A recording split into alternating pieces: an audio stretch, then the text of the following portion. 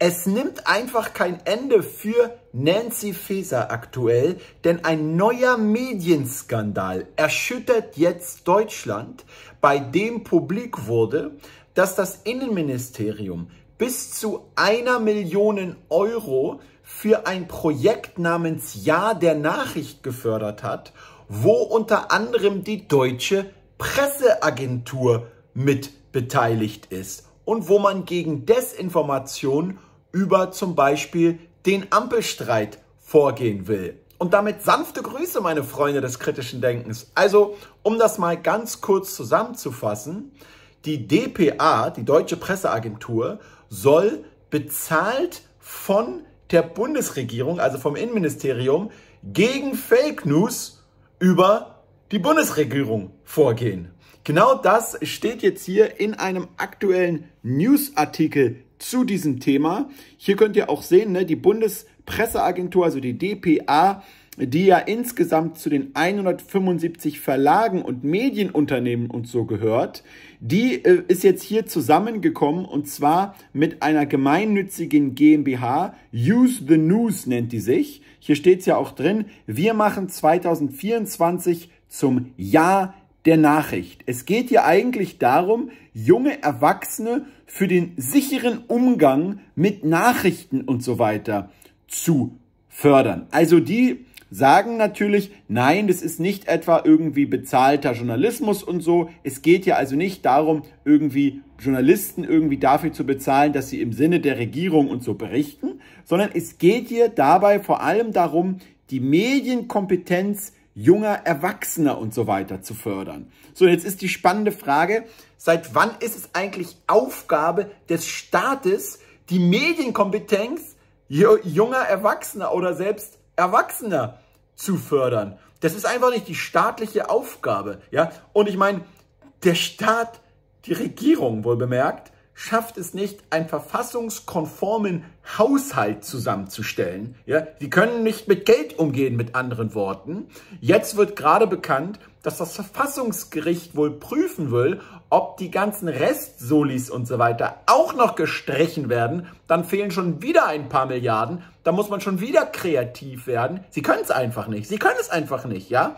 Also warum geben Sie ständig Geld aus, um Ihr nicht vorhandenes Können auch noch zu retuschieren. Das ist die simple und einfache Antwort an dieser ganzen Sache. Und das Spannende auch an diesem Thema ist ja immer, dass man jetzt hier im Rahmen von dieser News-Recherche herausgefunden hat, dass die Beteiligten selbst, also die DPA beispielsweise, keinerlei Informationen über die Finanzierung publik machen wollte. Also die wollten einfach auf Anfrage nicht sagen, wie viel Geld es war.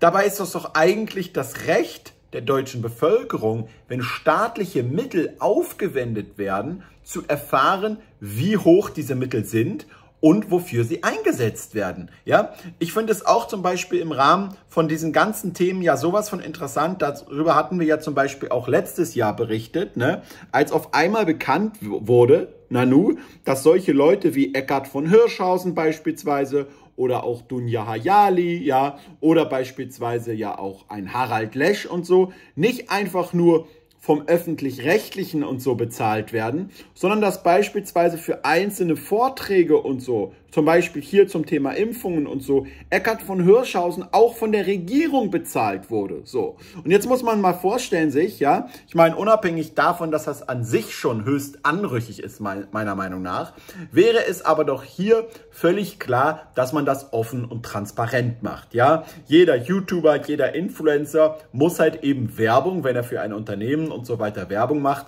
das Ganze kennzeichnen oder wenn er bezahlt wird. So.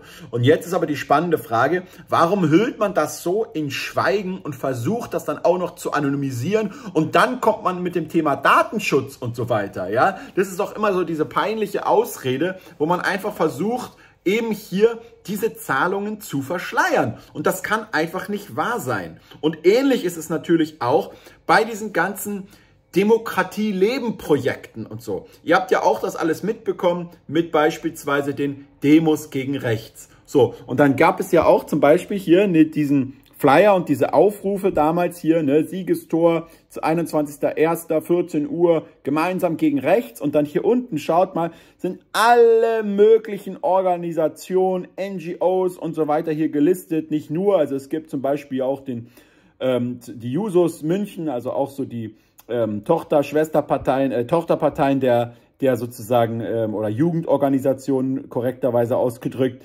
der SPD, aber auch zahlreiche andere Vereinigungen und so, ne? Und viele, viele von diesen NGOs, ja, die sind wahrscheinlich ohne den Staat gar nicht überlebensfähig, ja, würde ich jetzt mal behaupten wenn die jetzt nicht auch noch die ganzen staatlichen Förderungen und so weiter bekommen würden, dann könnten sie sich auch nicht für die ganzen Projekte einsetzen, die wohlwollend von Faeser und Paus und so weiter und so fort eben halt auch gewünscht werden, ja? Und das ist natürlich auch sehr genial und clever gemacht, weil natürlich ist es nicht so, dass jetzt der Staat dort vorgibt, also in Form von der Innenministerin oder der Familienministerin und sagt, passt mal auf, mach doch jetzt mal bitte ein Projekt gegen die Oppositionspartei ganz konkret. Das machen sie natürlich nicht. Die sind ja nicht blöd im Kopf, ja.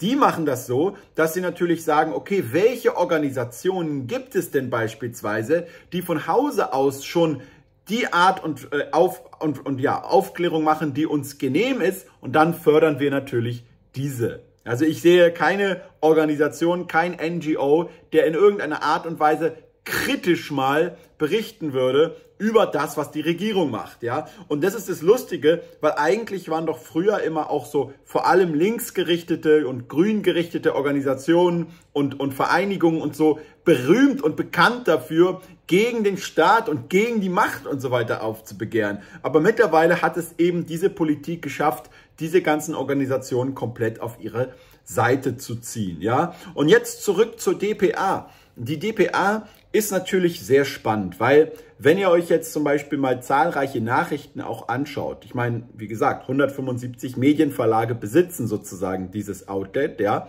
und die posten permanent Nachrichten und so. Das Ganze sieht dann in der Praxis so aus. Ich habe zum Beispiel auch so einen DPA Select Zugang, ne, kann man dann zum Beispiel filtern nach Eilmeldungen, dann stehen da die ganzen Eilmeldungen und so drin, ne, was alles gerade passiert und so. Und dann kommen wir hier zum Beispiel zu den einzelnen Nachrichten, wie zum Beispiel Raketensystem Starship kann auch dritten Test nicht abschließen. Ja? Und dann steht dann hier zum Beispiel so eine kurze Tickermeldung.